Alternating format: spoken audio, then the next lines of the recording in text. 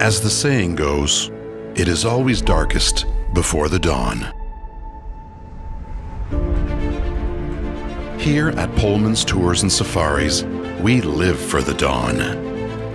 So when the sun rises again and life as we know it resumes, we will be waiting for you.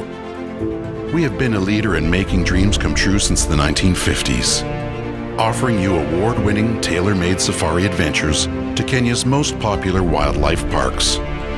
So, dust off that bucket list and start dreaming again. The new dawn is just around the corner.